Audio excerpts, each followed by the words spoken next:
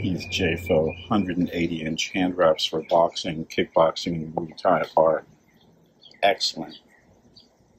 Who knows? If we took the label off and put an Everlast or Ringside label on it, would pro boxers be able to actually tell the difference?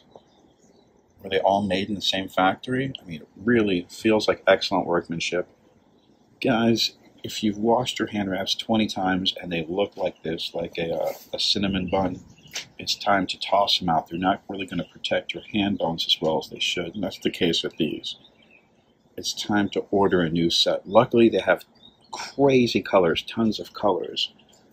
Like so many you can choose from. I chose to go with the classic, you know, 180 inch um, bright yellow color that Ringside made famous with these wraps, which obviously these are modeled after. It looks like the exact same yellow. And these are 180, but they look more like 120s right now. They've really been deflated through washing and usage, but I've had nothing but safe use with these, and I've been hitting super hard with them. And I'm like, you know what? They're getting sweaty. I use these every day. I'm going to get a second set. I like them so much I ordered them twice.